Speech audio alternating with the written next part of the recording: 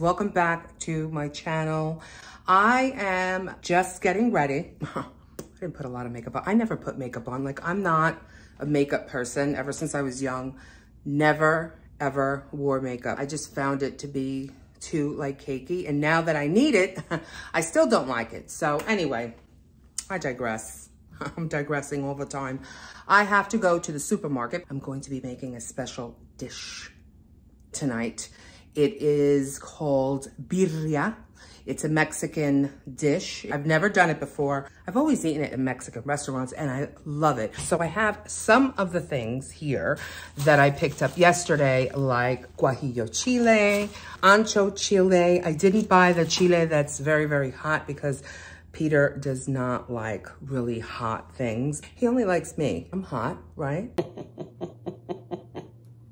So I've got tomatoes. There's a fruit store near where I work. And so I pick this stuff up there because it's less expensive than getting it at the supermarket. So I'm going to the supermarket to pick up, you know, just weekly groceries. Pete's working today, so I'm going to do that. And then what else am I gonna do today? Not doing much of anything. I'm gonna get started on this video that you're watching right now uh, because I still have to edit and do all that stuff. So yeah, that's it. I'm gonna get going. Max is having a heart attack because he hates, look at him. Poor soul. You poor baby. You sad because mama's going? Huh? Are you sad because mama's going to the store? I'll be back. He gets upset whenever I go somewhere. He does. He just can't stand it. He really, I don't know. Got issues. You know what I mean?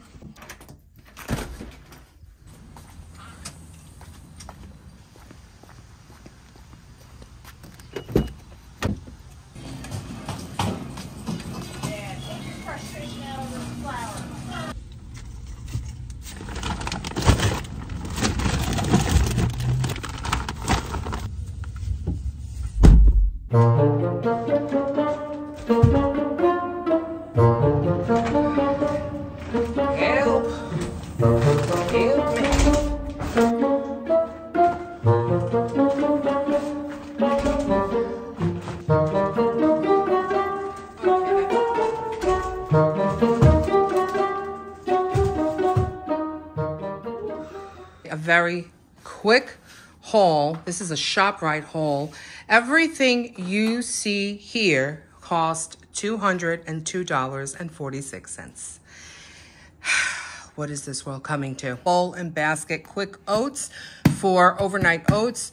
Bowl and Basket is a very good brand. I not only buy their um, their quick oats, but I also buy their Colombian coffee for the Keurig, not for mine espresso. I bought first time bowl and basket sweet onion ground beef burgers made with real sweet onions. This is good for when I stay over my daughter's and Pete wants to make himself something quick. He can have these burgers. Bananas, a bag of Doritos because why not? I take a sandwich sometimes to work, and when I do, I take a little baggie and I put a few of them in there just to have a little crunch with my sandwich. Peeled garlic, holy guacamole when I just want something quick and I don't want to peel an avocado and have, you know, the rest of it getting all brown and whatnot. I'll use a cup of this. They come in like little separate containers and it's really yummy, really delicious. I'm gonna try these. I see some of my favorite people on YouTube buying these StarKist tuna creations. I bought the Hot Buffalo because I love spicy things, and also the sweet and spicy. We'll see. I'll try anything once. They're only 90 calories, and they have 16 grams of protein. Canilla rice from Goya, long grain. Only kind of rice I buy is long grain. Doesn't matter what brand it is. Honestly, it's whichever one is the cheapest, but it has to be long grain.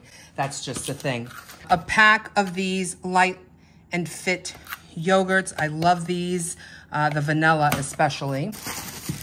Bowl and basket vanilla and chocolate ice cream cups. These are Peter's favorite. Did I say that when you buy bowl and basket, it's just cheaper if you want to save a little bit of your coin. Um, Maxie's cat food. I like to get him the senior at times, but Fancy Feast is his favorite. I just started getting him the Purina 1 to try and incorporate it. It's grain-free. We'll see. I mean, it's working so far. He likes it. He likes anything. He's like Garfield. Ground ginger for tonight's dinner tomato sauce for tomorrow's dinner. I'm making pork chops, rice, and beans, Peter's favorite, so I needed that.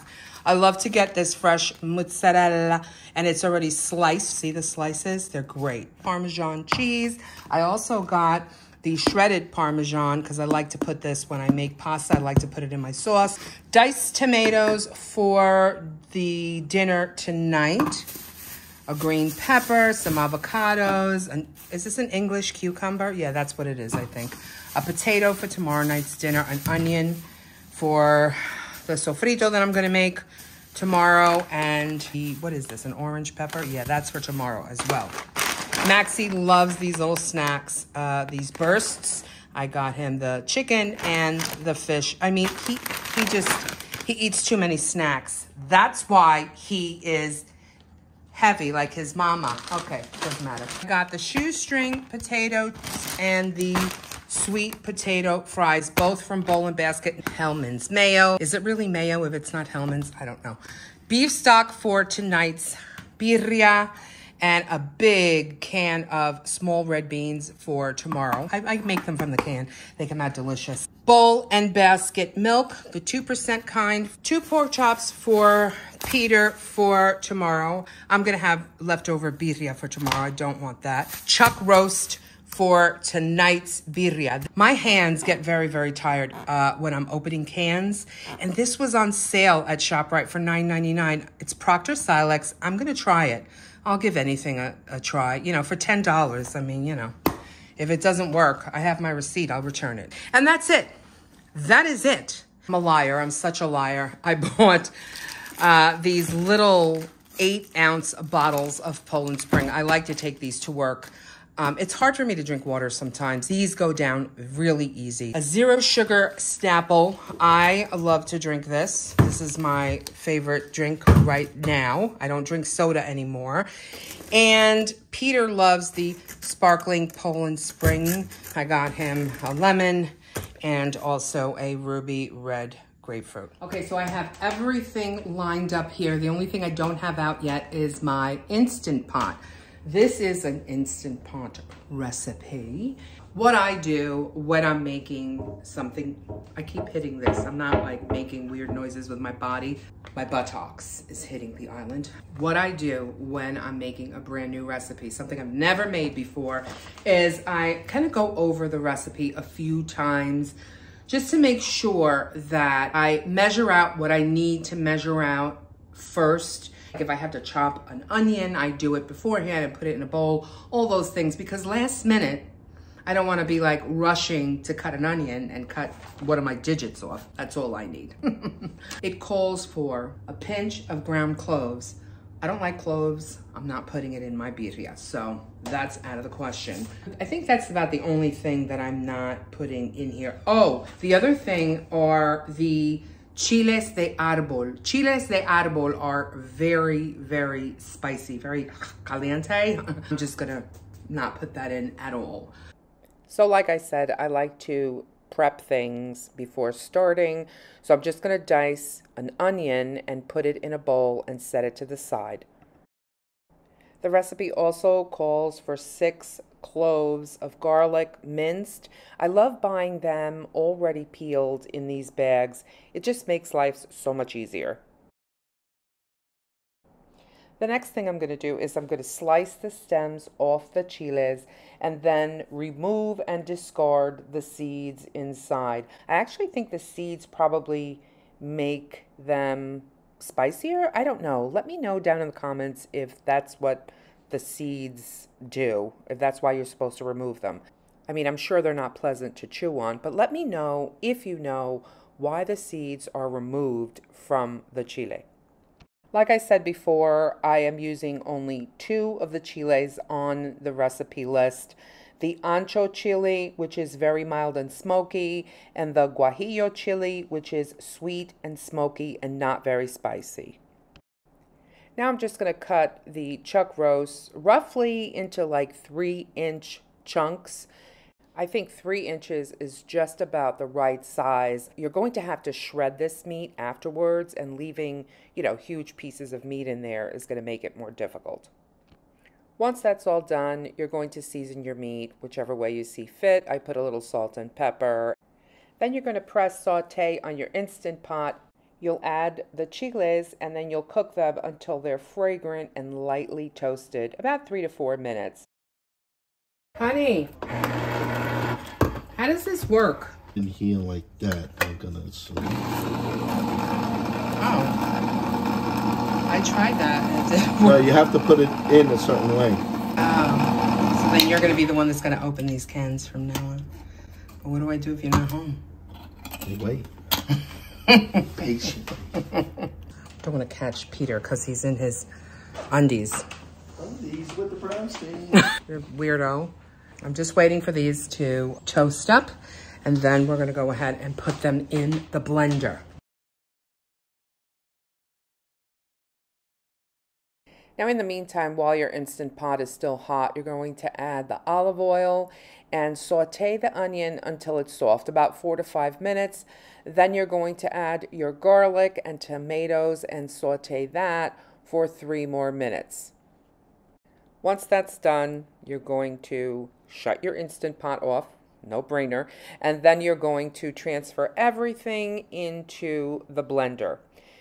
At that point, you're going to add the rest of your ingredients. I'm going to leave the recipe below. You're going to add your apple cider vinegar, your cumin, oregano, ginger, cloves, and cinnamon if you want to add that, and then two cups of beef stock.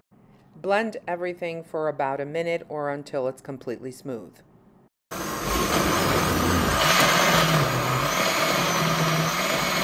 At this point, you're going to combine your cubed beef, the blended marinade, two cups of the beef stock in your Instant Pot, give it a quick stir, cover, and cook on manual for 45 minutes, followed by a quick release.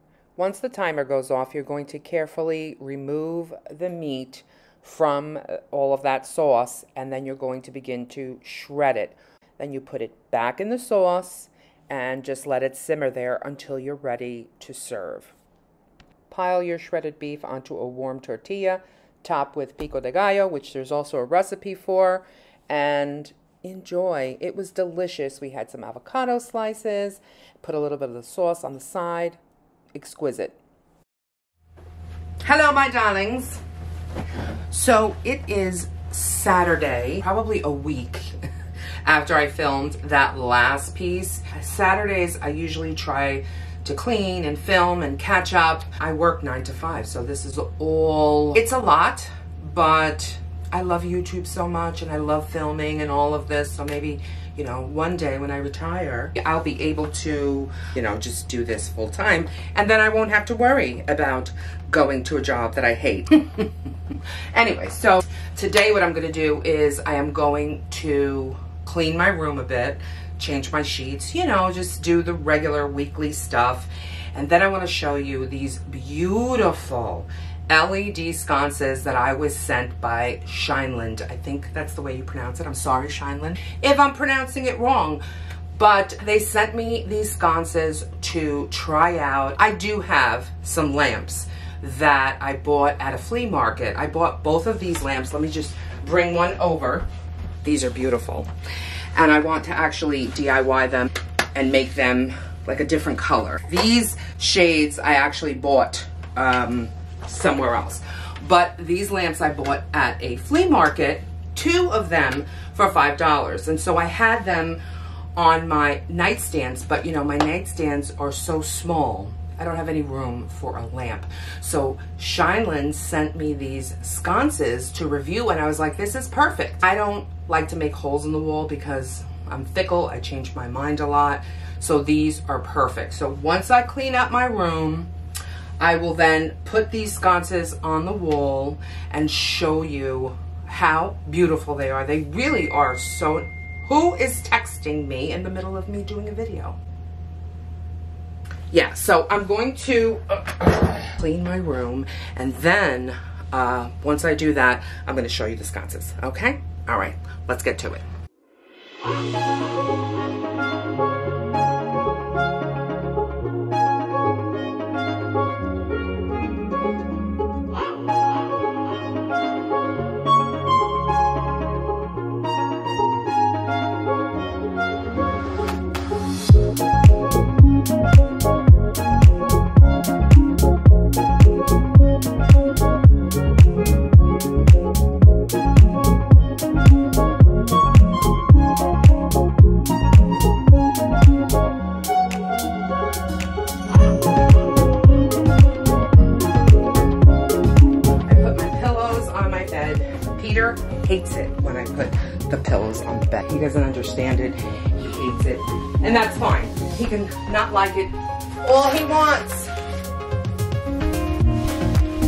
That's where they're gonna go.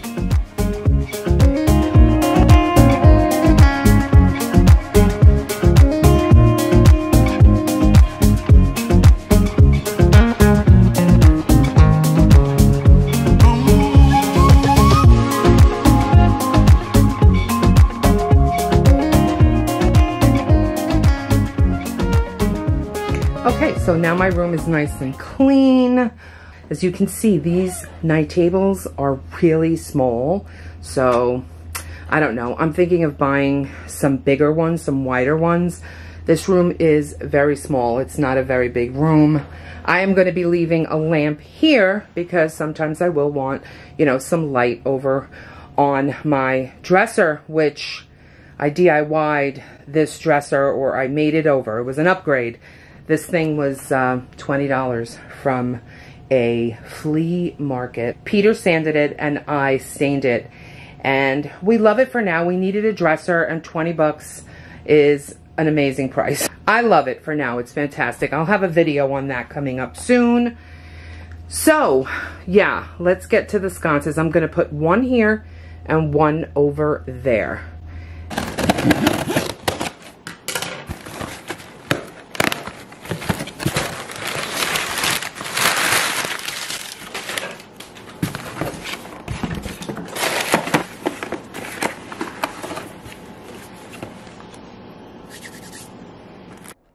Right off the bat and out of the gate.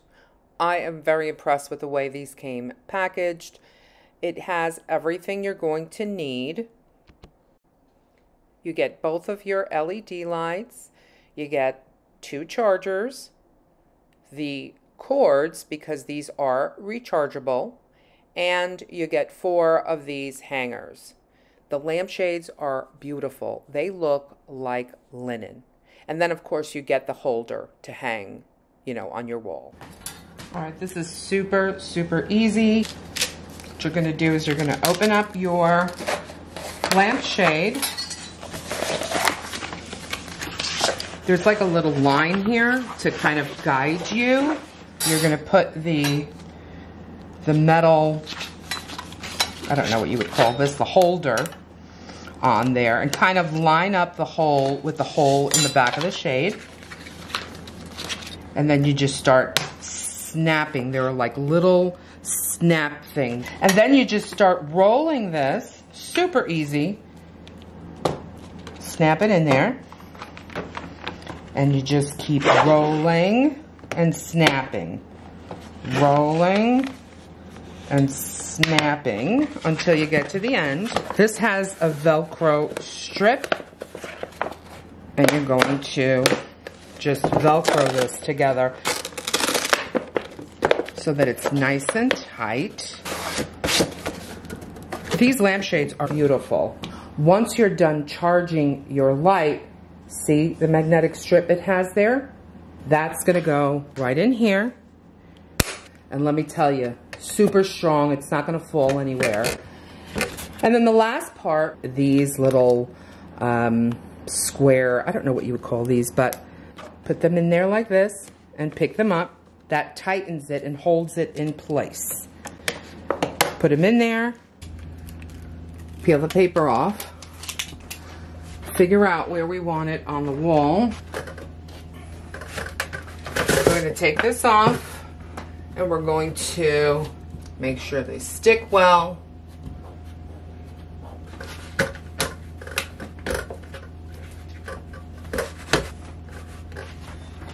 Obsessed, obsessed with these lights. I don't know how to work them completely yet. I have to look at the remote, but look, different colors, even brighter if you want that daylight look, or if you'd like, you know, a more cozy look in the room. I am in love with them. And for the price, you really can't beat it.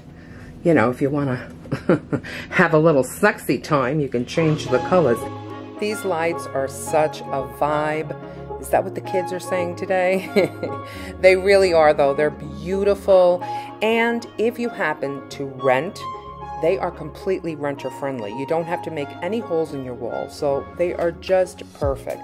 Thank you so much to Shineland for sending me these gorgeous, gorgeous sconces to review and to share with all of my subscribers. I really appreciate it and I love your product. Thank you so much for watching. I will see you guys next week. I love you and please remember, thumbs up if you like this video and please subscribe if you're just hanging out here and this is your first time. Love you guys. Bye.